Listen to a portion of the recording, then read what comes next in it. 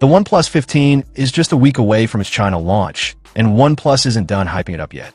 In true OnePlus fashion, the company is dropping new teasers focusing entirely on raw power and performance. We already knew a lot about the OnePlus 15, but these new teasers dive deeper into its cooling and gaming upgrades. And OnePlus claims it's packed with industry-first technologies that take speed and thermal performance to a new level. The phone debuts an all-new Glacier cooling system made from ultra-thin, hand-tearable steel, which reportedly dissipates heat twice as fast as before.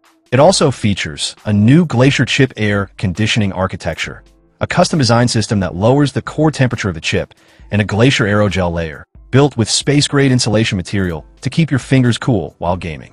For gamers, OnePlus is going even further with the first-ever gaming hand cooling model. It targets 10 specific heat zones across the device to keep your fingers comfortable during long gaming sessions.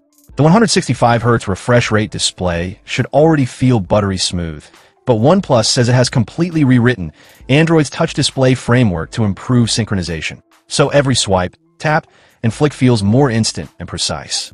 There's also a new G2 gaming network chip built to deliver stronger Wi-Fi and cellular performance, especially in weak signal areas.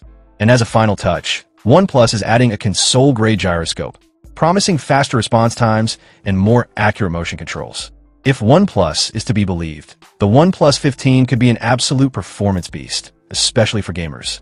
So, what do you think about this new cooling and gaming tech upgrades on the OnePlus 15? Drop your thoughts below, and don't forget to like and subscribe for more tech updates.